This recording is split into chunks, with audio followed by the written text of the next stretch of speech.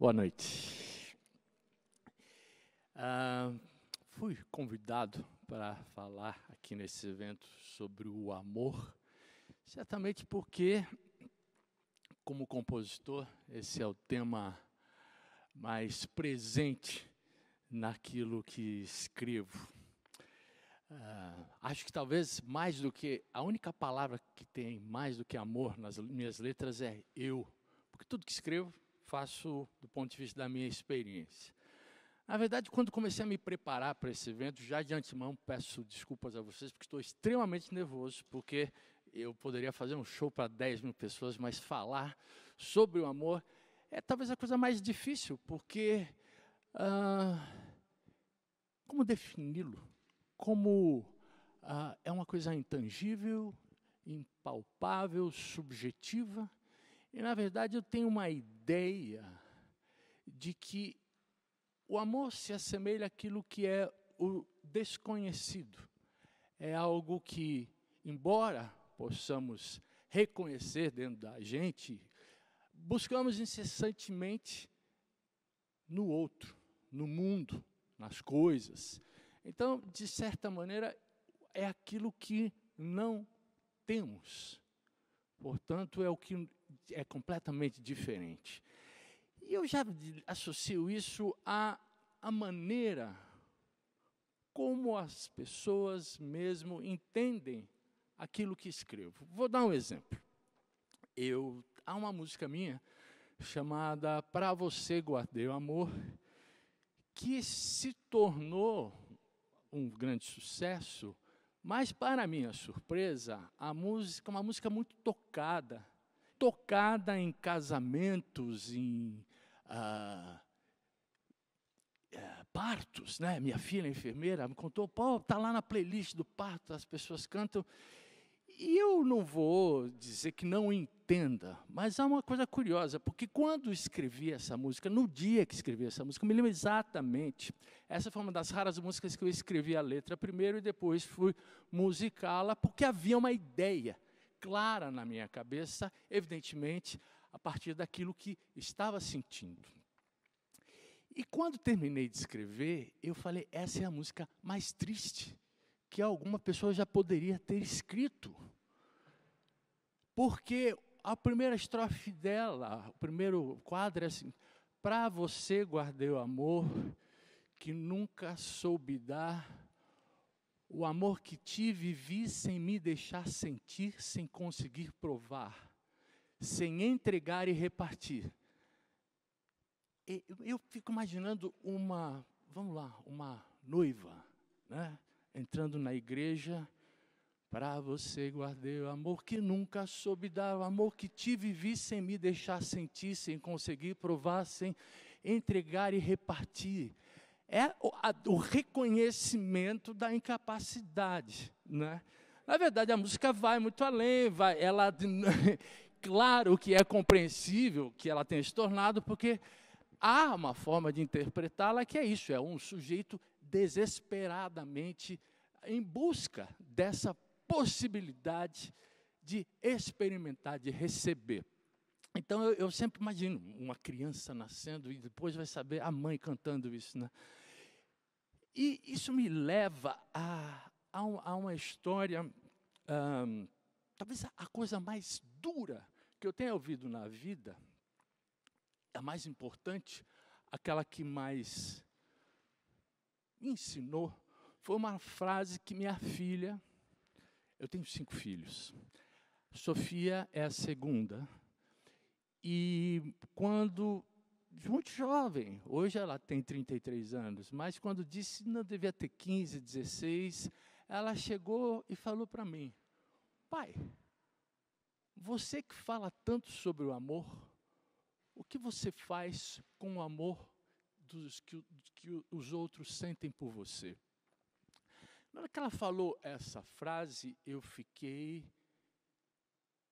uh, impactado, imóvel, porque ela era irrespondível. De alguma maneira, a Sofia estava dizendo exatamente que eu falava, falava, falava, e estava completamente ah, egoisticamente, in, né, autocentrado, como muitos artistas são, e eu sei que sou, ah, simplesmente falando do que eu sinto, eu sinto. Eu amo, pois eu quero, eu quero você, eu penso. Minha, as minhas canções, como eu acabei de dizer, eu falo mais, além da palavra amor, a primeira é eu. E é natural, porque o que a gente, como eu disse, é o que eu vivo, é aquilo que eu penso, é a forma como eu consigo me expressar. Mas, na verdade, quando ela me disse isso, eu falei, há um completo equívoco na maneira como eu estou considerando uh, o amor. Porque talvez o amor seja justamente ficar quieto, abrir espaço, deixar o outro. Amar uma pessoa é reconhecê-la, identificá-la e não querer moldá-la à sua, ao sua, aos, aos seus propósitos. Né? Ah, isso é uma coisa curiosa, porque quando nós pensamos assim, o amor incondicional pelos filhos, né? de novo, já falei, tenho cinco filhos, eu me lembro, me lembro exatamente. Quando meu primeiro filho nasceu, Teodoro, eu era muito jovem, tinha 23 anos. Durante os nove meses da gestação, aquela expectativa e tudo mais. Quando ele nasceu, eu olhei e falei, e agora? Eu tive a, a impressão de que eu não o amava. E isso me deu assim uma sensação de absurda. E, porque falei, eu não sei quem é esse pequeno ser. Né? E daí nós temos essa ideia de que pelos filhos o amor é incondicional, mas isso é uma coisa que vai se desenvolvendo, porque você vai criando vínculos, laços, você vai vendo. E daí você vai começando a entender que o que você quer, o que você, quando se ama um filho incondicionalmente, é justamente não impor condições para que ele ah, não, estabelecer aquilo que ele deva ser, ele não tem que te atender. Um filho, como um exemplo do que é o grande amor incondicional, ou seja, não há nada mais nobre, mais importante, ele não está para te servir, ele tem que estar. O, o, o verdadeiro amor que eu compreendi sendo pai é isso: deixá-lo crescer e não, não aprendê-lo como se ele tivesse que me satisfazer. Enfim, ah, meus filhos cresceram, todos eles estão ali, grandes. Olha, eu escrevi um monte de coisa, não estou falando nada do que eu escrevi. Eu te sinto muito, mas então é isso. Eu continuo pensando que a, ideia do amor é justamente é se ausentar. Na verdade, uma coisa muito ah, típica, ah, comum, provavelmente todos nós já tivemos.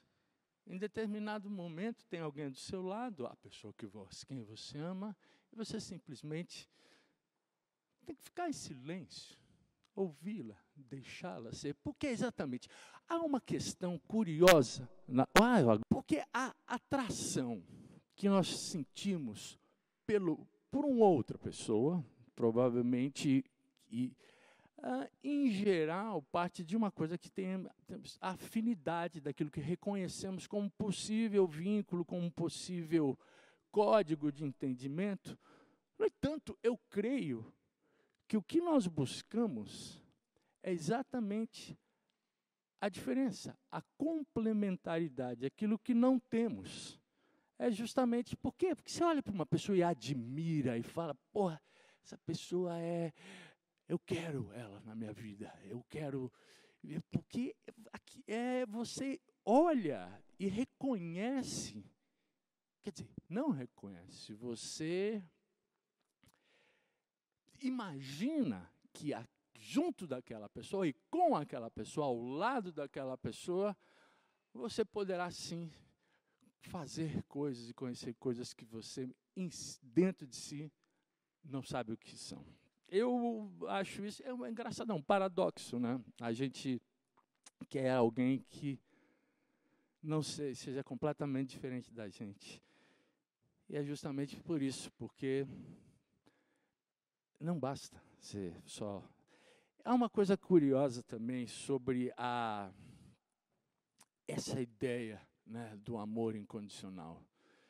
Eu sou o quarto de cinco filhos, uma família paulistana, e eu sou ladeado por dois irmãos que tiveram, uh, tiveram meningite, coincidentemente, né? e cada um deles desenvolveu, uh, teve comprometimentos em graus diferentes e tudo mais. Mas quando me nasci, o meu irmão acima de mim é cinco anos mais velho, ele ficou deficiente auditivo, uh, e a irmã que nasceu de mim, três anos mais nova, ela teve sim um comprometimento neurológico muito maior e tudo mais. E são pessoas que teve, tiveram suas capacidades, digamos, limitadas ou com outro tipo de, de desenvolvimento. E nasci e tendo eles ao meu lado, sem conseguir ter consciência ou compreensão, melhor dizendo, daquilo que qual era, quais eram as suas peculiaridades, as suas características e as suas limitações no caso. Eles sempre foram assim. Eles eram assim. Como são assim. E essa relação com pessoas e meus irmãos amados, com quem brincava, era uma vida alegre, certo? Eu lembro a maior, melhor brincadeira era a gente tinha um sofá com três almofadas, derrubávamos as almofadas e ali era o nosso navio. E eu me lembro, então, de, de eram normais, sempre foram normais. E é uma coisa que eu sempre, que eu acredito que o que nos faz igual, iguais é justamente as diferenças, ou seja, as individualidades. Cada um de nós não há possibilidade de termos sermos idênticos. Então, a melhor coisa que tem é você olhar e para o outro. Enfim, eu confesso que continuo nervoso e tenho um pouco de sensação de estar me enrolando, mas é uma boa coisa, né? Porque voltando às minhas canções, aquilo que eu falo, o que aprendi também é que não bastam as palavras. Eu sou hábil com as palavras quando escrevo músicas, quando faço TEDx, nem tanto. Eu, eu, isso é pouco. Volta a minha filha que fala: o que você faz com o amor dos outros que sentem, que os outros sentem por você? Volto à minha canção original, para você guardei o amor, que é onde eu escrevi. O segundo verso é para você guardei o amor, que sempre quis mostrar né, que vive em mim. E é o que eu acredito. Na verdade, vamos tentar concluir de uma maneira mais palpável e sobre algo que é o que está acontecendo. Quando você pensar no outro, no ou seja, não apenas em você, a relação amorosa com o mundo ela tem que considerar aquilo que não apenas lhe serve. O meio ambiente é a coisa, para mim, é assim. Há uma necessidade imperiosa de cuidarmos daquilo, do amor. Amor pela vida é o amor pela terra, é o amor pelo pelo lugar onde estamos vivendo, o ar que respiramos aqui. Todos nós estamos sabendo, não há chance de não sabermos o desastre que está em curso. Isso é uma maior prova de desamor. Porque é o egoísmo, é o imediatismo, aquilo que você acha que só interessa aquilo que lhe serve. Por enquanto está bom, beleza, está um puta de um frio. Vocês curitibanos sabem que aqui faz muito frio. Mas fez um frio completamente despropositado em outros lugares, pegando fogo na Grécia e tudo mais. Ou seja, Tá, tá bom? Não está. E como estará daqui a 50 anos? Nós, todos aqui, tenho filhos, agora netos, a eles. Então é, é, é pensar não apenas em você. Essa é a maior atitude amorosa que, que poderíamos, que devemos ter, demonstrar. Ai, ai, é isso. Eu realmente ah, imaginaria falar muito melhor, mas talvez da próxima vez. Talvez, talvez seja exatamente isso.